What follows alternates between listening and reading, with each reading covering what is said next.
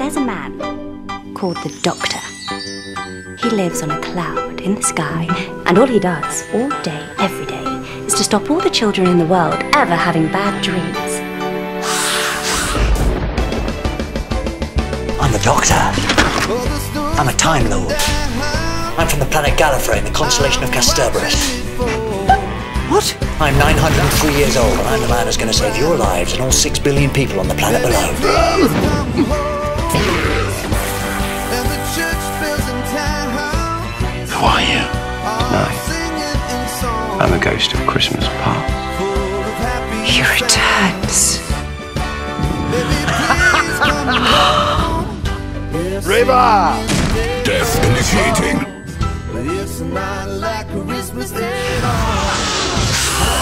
I said I'd feed you.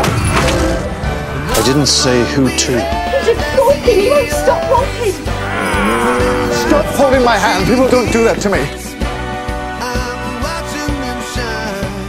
What manner of men are they? Cybermen. Save yourself! Run! What seems to be the problem? Shona? Shona, what's wrong?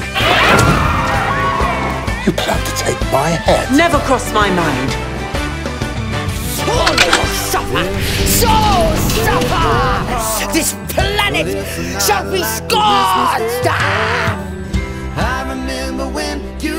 Destroy them!